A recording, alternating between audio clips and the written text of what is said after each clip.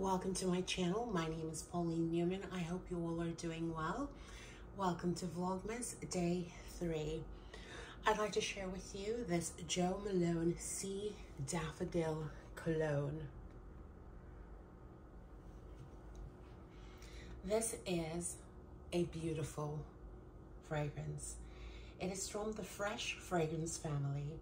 The scent type is fresh citrus and fruits. The key notes are yellow mandarin, sea daffodil, and vanilla. This fragrance was launched this year in 2022.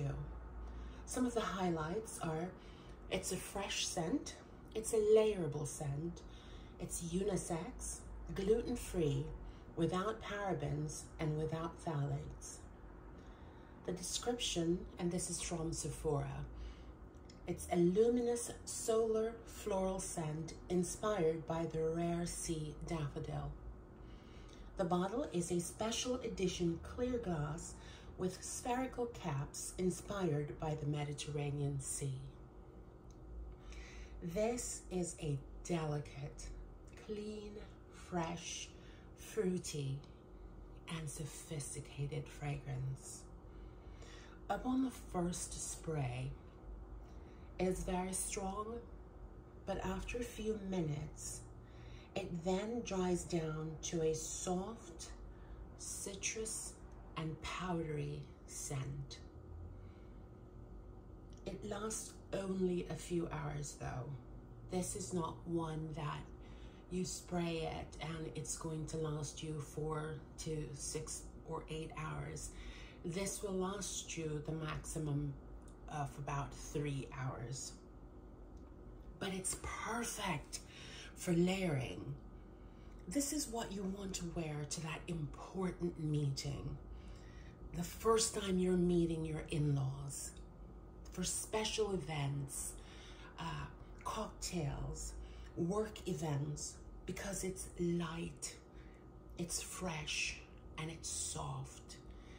This is what you would want to have as a signature scent. And I can see this for my mom. This is something that I know she would love because she likes scents that are very light, very fresh. And this would be a perfect gift for her. Again, the holidays are coming up this would be the perfect time to pick this up.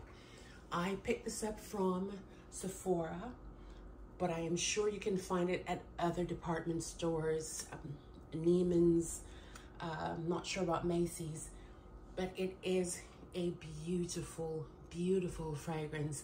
And you receive it in the box with the bow already on it. You will not go wrong if you pick this up as a Christmas gift. Thank you so much for watching. Until next time, be kind to yourself, be kind to others, and see you tomorrow for Vlogmas Day 4.